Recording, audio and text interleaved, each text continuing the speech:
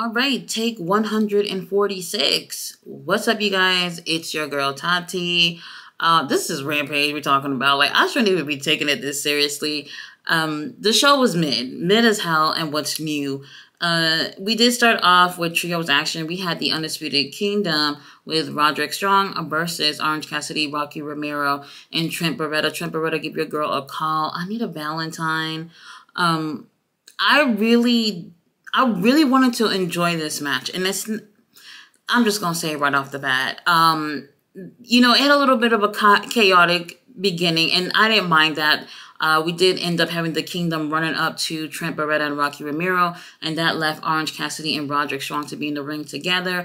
And before uh, Orange Cassidy can even put a, a finger on him, uh, Roderick ends up rolling out the ring because he don't want that smoke so early. Um, and also, that little mustache he got going on look like he got a mind of his own. This little mustache trend in wrestling right now is um really interesting. Now, I really wanted to enjoy this match, and it's not like it was bad, but for me, I just feel like I'm just so picky um these days with what's going on in these matches.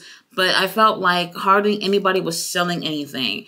Um, those really hard hitting moves they're just not selling these things because they want to go from spot to spot really quickly. They want to keep this high energy going throughout this match because we got what six guys in the ring and sometimes they're all in the ring at the same time. And I get it. They they want to keep that energy up, but when you be here getting fucking a spine buster you just walk the fuck off or a backbreaker and just roll out the ring like nothing happened, it's like at some point you have to realize that people are noticing this when you guys are just trying to go from spot to spot really, really really quickly and not selling these moves. That takes the fun out of the match. So for me, um, I just couldn't enjoy it as much as maybe someone else who's not looking at little things like that. Now, the Undisputed Kingdom do end up um, getting the win here. We have Wardlow and Adam Cole ringside just being as useless um, as they can possibly be. After the match, they do end up attacking Rocky Romero. And I'm just like, where the hell is Trent Beretta? Where the hell is Orange Cassidy? And while uh, our boy Rocky is getting attacked like that, um, it is what it is. They end up helping him in the end, and the Undisputed Kingdom and Roderick um end up leaving the ring, and they're over here rolling Adam Cole backwards while he's smiling. Like Adam Cole, what the fuck are you smiling about? You did absolutely nothing. You have absolutely been doing nothing ever since you took that mask off. And you know what? I don't like it. I, you know, for months we've been trying to figure out who the hell was this person under the mask. You know, the, uh, you know, the social media FBI's were uh, working overtime trying to figure out who this person was, and it's Adam Cole. Adam Cole leg is broken, so he really can't do too much, and that's taken away from that whole thing. To be honest, that whole little faction to me, it ain't shit. Before I move on to the foolishness that happened after uh, the opening match, I have to say, I wish it was Roderick Strong back in the wheelchair instead of Adam Cole. Roderick was playing the hell out of that little role he had. Uh, meanwhile, um, you know, Adam Cole's really hurt and he's just boring the fuck out of me. Now, uh, the foolishness that I was talking about. Um, Nicholas and Matthew Jackson, uh, they're in action with some uh, two local jobbers, if they were wrestlers, because they didn't do a damn thing in this little match that they had against them. This was obviously taped right after Dynamite on Wednesday, and these two still got that white bloody ass suits on, and they make it to the ring. And I'm just like, y'all think y'all doing something with this little look y'all got going on here?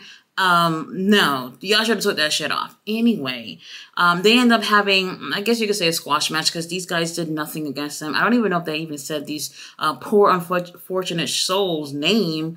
Um, so I don't know who they were or whatever. Everything happened pretty quickly and they end up winning they did get on the mic after that and i'm not gonna lie when i see the young bucks talk i take my remote and mute so i don't know what the hell they said it really was a waste of time i think that um, when it comes to squash matches, it's definitely like not the way to go. You want the young bucks to look good. They actually, as much as I cannot stand them, um, they're great in the ring.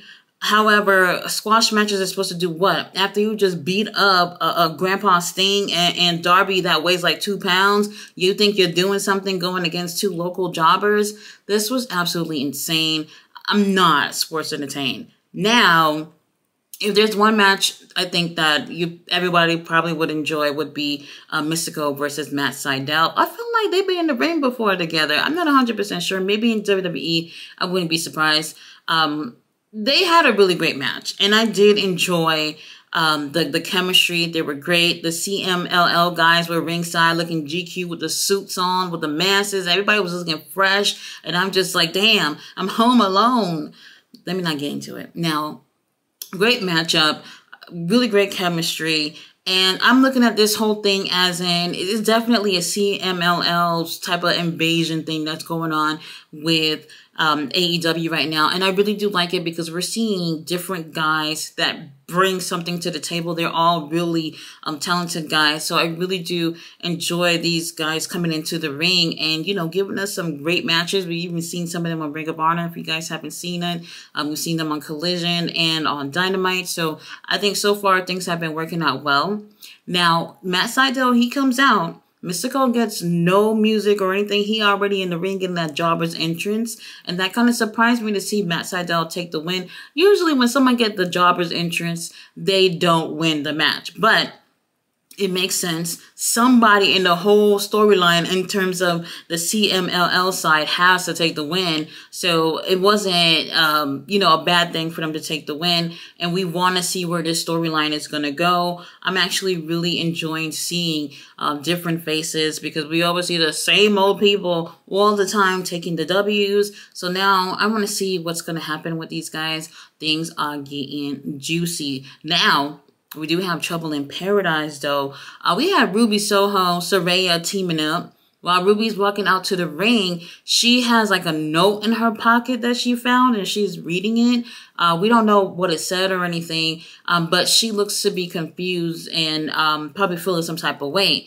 Now, they're going against Kris Statlander and uh, Willow Nightingale. This was a great match. It wasn't bad or anything, but this is another match where these um, little drama and storyline are playing a huge role in the matches, and sometimes they take away a little bit of the quality because they're focusing a little too much on the storyline. Now, it's not a bad thing, but we just don't see Ruby and Saraya often enough for them to keep doing the same thing every time they get in the ring. It's always these little storyline. It's great to see Saraya still got her job because she just don't really get in the ring. And sometimes I just feel like she's just not ready enough.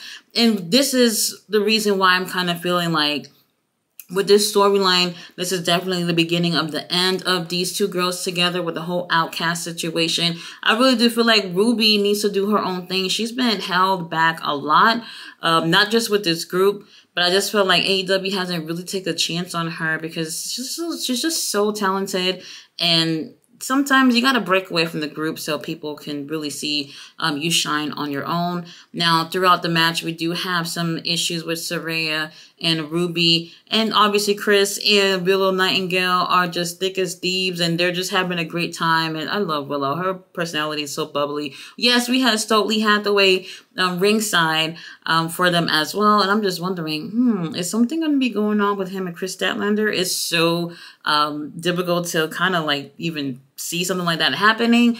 But we'll see what happens. Now, uh, Saraya Ruby, not necessarily, not like they fighting or whatever, but just things are not going their way throughout this match. And uh, when Saraya goes to go tag Ruby to get in, Ruby said, fuck it, I'm out. And she just walks off. Harley Cameron goes and say, bitch, like, where the hell are you going? Get back over there and help Saraya. And then Ruby turns around and decks her right in the fucking mouth. And I'm just like, yes that's exactly what you should do. Obviously, Saraya takes the L for her team. Ruby walks the fuck off. And everything seems to be great. Stokely comes in the ring to celebrate with Willow and Kris Statlander. And then here comes Skye Blue. Skye Blue, our girl Skye Blue. Where the hell have you been, girl? She's standing there outside the ring, looking at the girls inside the ring. Then the lights go off, and then the lights turn back on. Is Julia Hart next to Skye Blue. And I'm just like, yes, finally. We've been wondering where the hell you two been. Like, they've been like doing their own thing or whatever and now they're finally together which is what should have been the case this whole entire time. I'm so interested to see where this whole storyline is going to go. Skye blue and julia they're standing next to each other outside the ring. They look amazing together while kris and willow inside the ring looking like they're not even phased by these two girls out there. And i'm just like wait a minute. Pay-per-view coming up uh TBS title doesn't look like it's going to be on the line. Y'all going to give us tag team action when Julia could literally be going against any of these girls that deserve a shot at a title? Um, way to do that at Tony Khan either way, I did love seeing the show ending with uh, women in the main event, and then we ended off with Skye Blue and Julia Hart. So I can't wait to see where that is going. Now, guys, thanks for watching my review. Tomorrow, I will be doing my watch along for Collision. Come pull up and support your girl. Uh, we have a really great time with these watch alongs, and it just makes watching wrestling, especially if you watch alone like I used to do, um, it makes it so much more fun fun. But thanks for supporting, and I'll see you tomorrow for a collision. Bye.